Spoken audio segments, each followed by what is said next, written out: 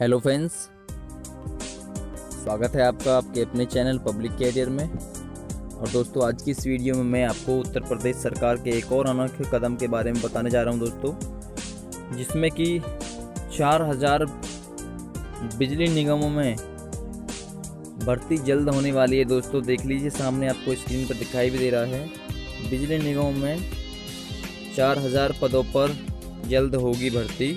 पूरी खबर बताऊँगा, विस्तार से देख लीजिए आगे।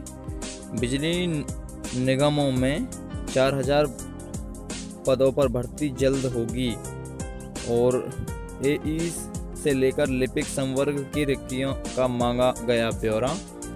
और देख लीजिए सामने, इसमें जो टाइम लगेगा आपका, पाँच से छः माह में पूरी भर्ती प्रक्रिया समाप्त हो जाएगी। अगले पाँच छः महीने में चार हज़ार पदों पर भर्ती की प्रक्रिया पूरी कर ली जाएगी। सरकार बिजली व्यवस्था को चुस्त दुरुस्त रखना चाहती है। इसके लिए जहाँ भी अभियंताओं या कर्मचारियों की कमी होगी, उसे दूर किया जाएगा।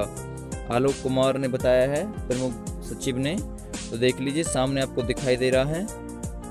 तो दोस्तों, आशा करता हूँ आपको मेरे द्वारा दी गई जानकारी अच्छी लगी होगी, वीडियो अच्छी लगी होगी, वीडियो अच्छी लगी हो तो अधिक से अधिक शेयर कीजिए वीडियो को और दोस्तों, लाइक ज़रूर कीजिए। और सब्सक्राइब करके हमारे चैनल को हमारे साथ में कनेक्ट हो